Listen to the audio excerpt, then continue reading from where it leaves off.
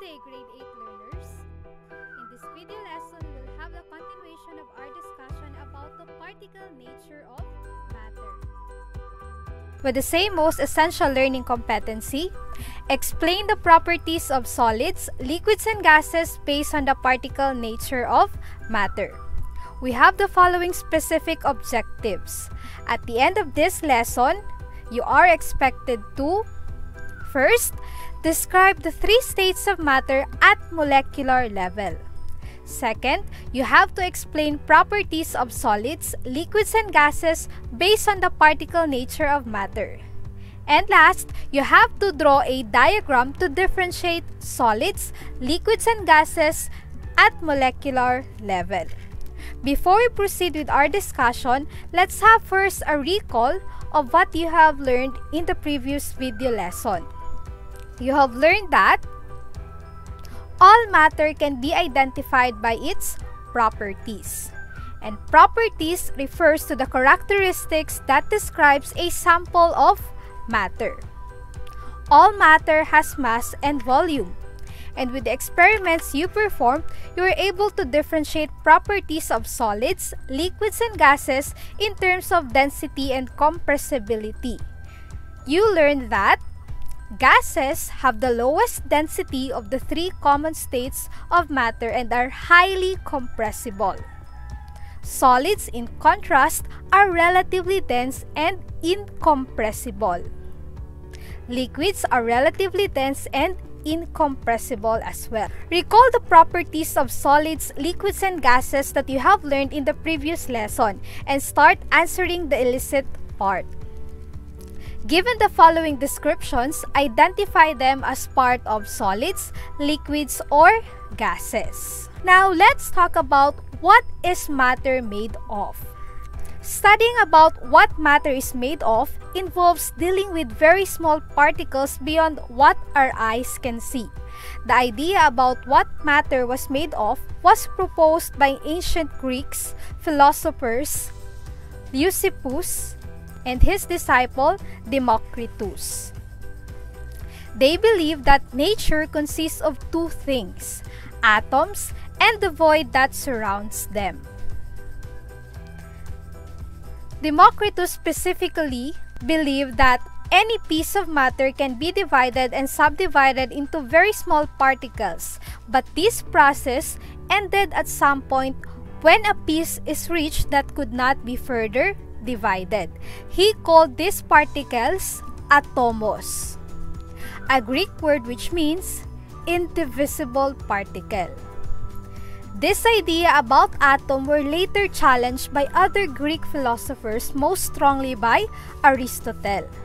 The idea of the atom was not further explored until a little over two centuries ago when John Dalton presented concrete evidence that all matter is made up of very small particles called atoms. Atoms is the smallest particle of an element that has all the properties of element. These are the smallest particle of which substances are made. And in grade 7, you learned about elements and that atoms of most elements have the ability combine with other atoms forming molecules. Molecules is a particle consisting of two or more atoms combined together in a specific arrangement. It is an electrically neutral particle.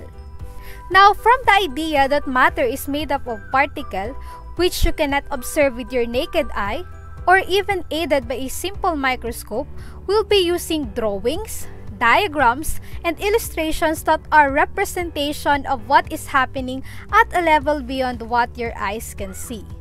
This is what science educators call the submicroscopic model.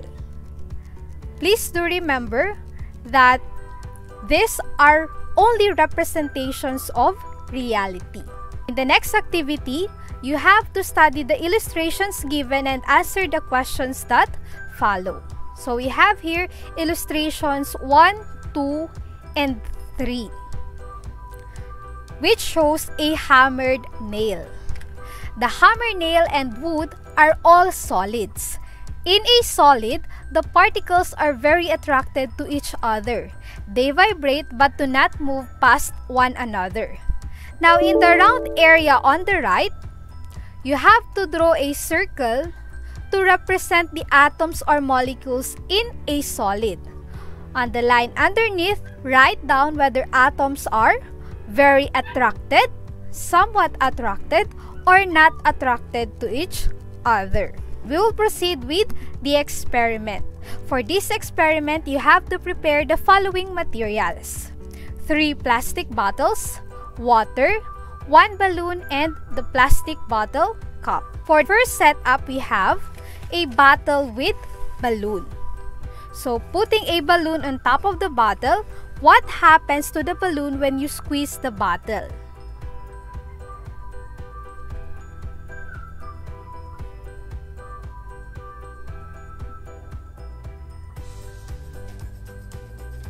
Again, what happens to the balloon when you squeeze the bottle? You have to answer the following questions. What do you think happened to the molecules when you squeeze the bottle and balloon expanded? For the next setup, we have bottle with a cup. So taking off the balloons and placing the cup on tightly, what do you think happens to the bottle?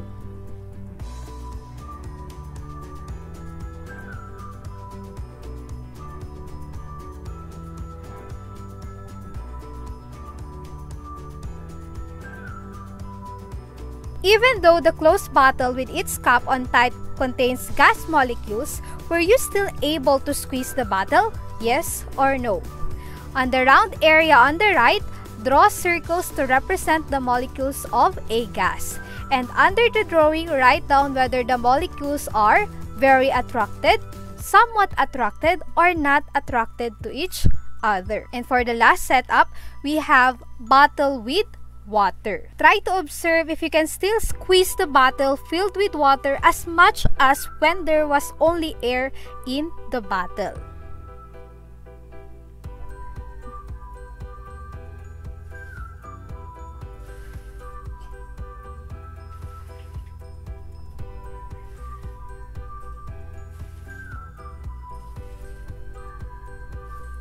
Again, try to answer the following guide questions. So don't forget to describe how the molecules of a liquid act differently from the molecules of a gas. And thinking about your models of the molecules in a gas and a liquid, why do you think a closed bottle of gas is easier to squeeze than a closed bottle of a liquid?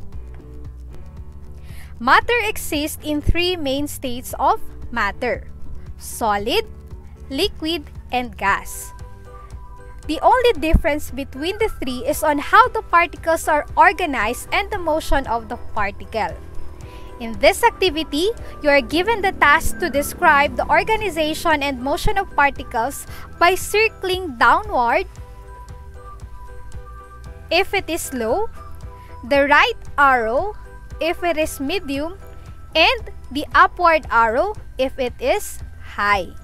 The particle theory of matter describes the phases of matter at the microscopic level.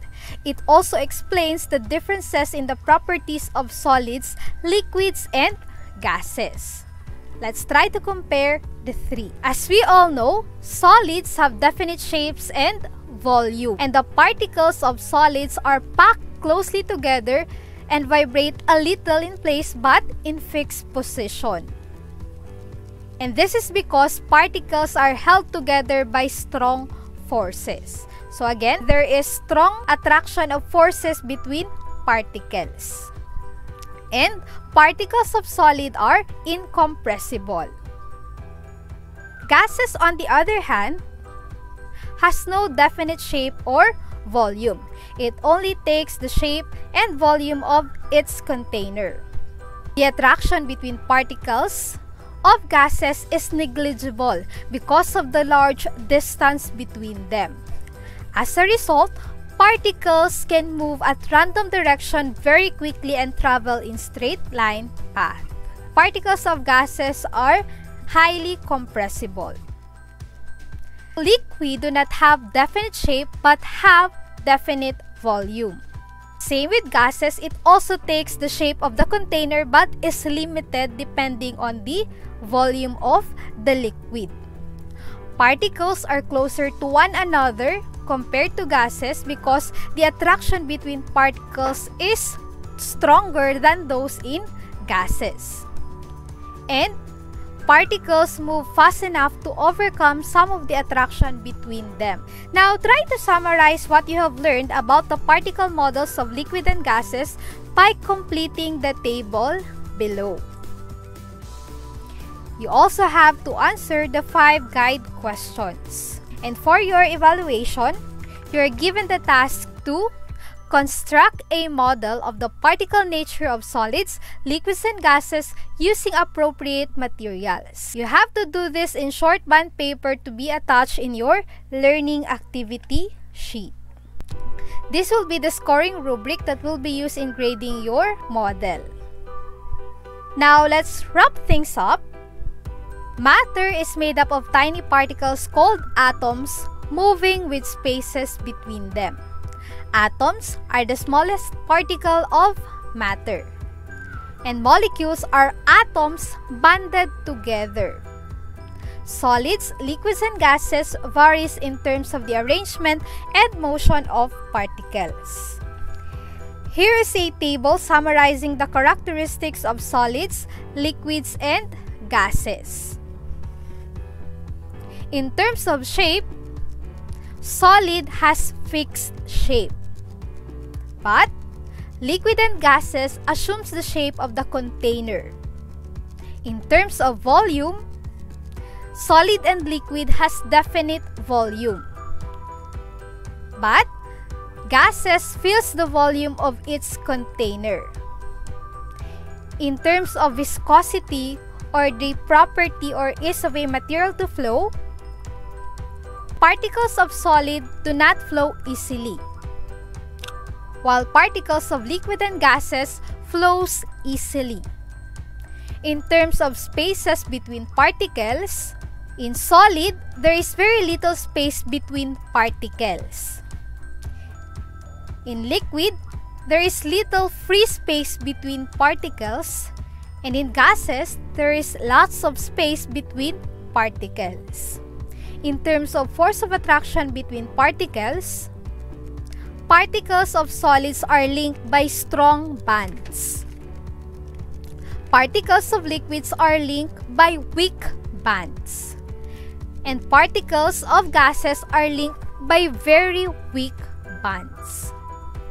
In terms of energy or motion of particles, particles of solids have low energy. Particles of liquid have high energy and particles of gases have very high energy. We'll be discussing about the physical changes in matter in terms of the arrangement and motion of atoms and molecules in the next video lesson.